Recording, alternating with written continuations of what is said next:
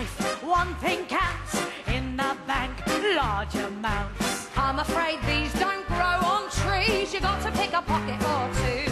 You've got to pick a pocket or two, boys.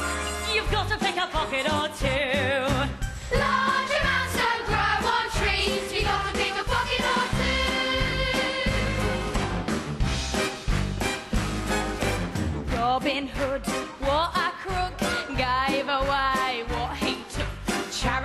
Fine, subscribe to mine. Get out to pick a pocket or two.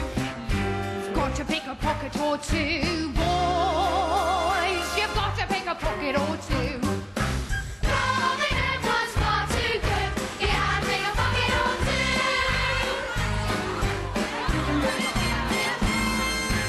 Take a tip from Bill Sikes so he can whip what he likes.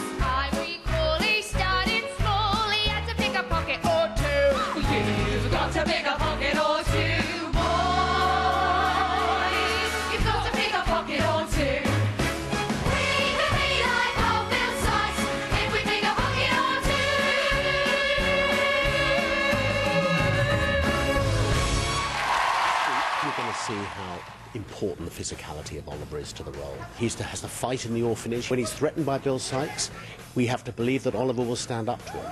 Like Oliver, the boys are about to learn all about fisticuffs from professional stunt performers. So we're here to teach you stage fighting. Yeah!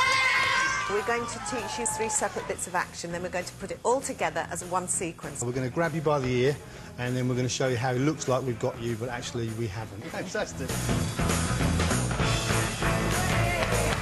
Was amazing. If I was Oliver, I'd love to be doing something like that.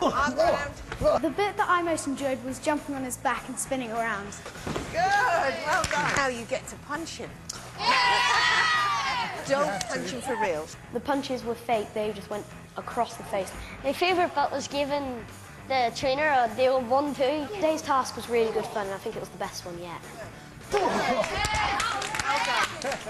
It was time for the boys to show Cameron their moves. This is your chance to shine now. And remember, the acting is just as important as the physicality. I want to completely believe what's happening. Right. You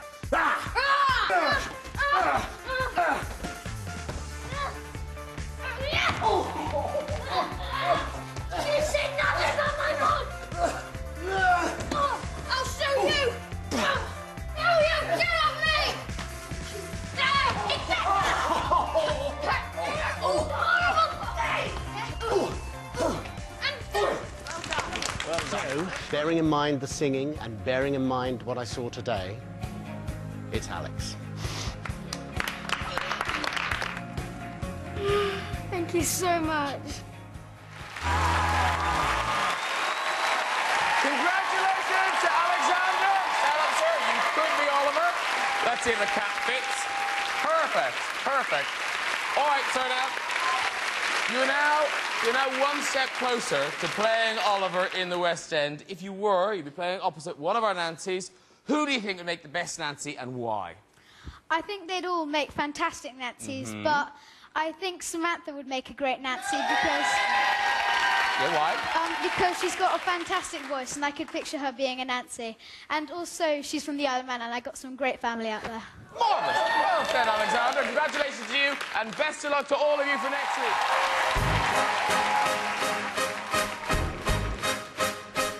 It's a hard knock life for us. It's a hard knock life for us. Steady treated, we get tricked. Steady kisses, we get kicked. It's a hard knock life. Got no folks to speak of, so It's a hard knock row. We have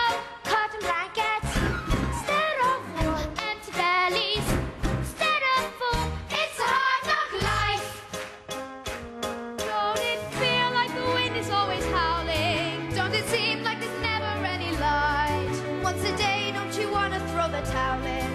It's easier than putting up a fight. No one's there when your dreams at night get creepy.